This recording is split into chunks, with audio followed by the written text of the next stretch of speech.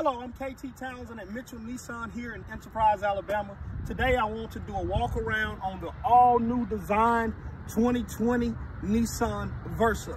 Um, this car comes equipped with a 1.6 four cylinder motor, which gives you up to about 40 miles per gallon um, on this vehicle. Vehicle also comes with 17 inch very stylish rims on it um, I want to talk about a few other safety features on this vehicle. This vehicle has safety written all over it. This vehicle here, it comes with the um, pedestrian warning. Got the camera up here for the pedestrian warning.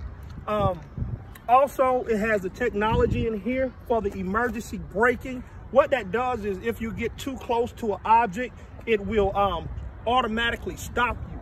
Also, I want to talk about the turn signals on the mirror which helps other vehicles be able to identify you and the direction that you are turning. On the inside of the vehicle, you will find a very nice seven inch screen.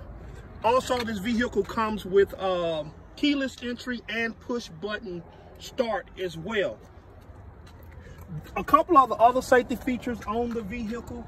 Um, in the rear of the vehicle, you will see where it has four sonars across the back. That helps with um, when you're backing up, if you're getting too close to something or about to hit something, this vehicle will stop you as well. Has a very spacious trunk. The trunk of this vehicle is actually 14.9 um, cubic square feet.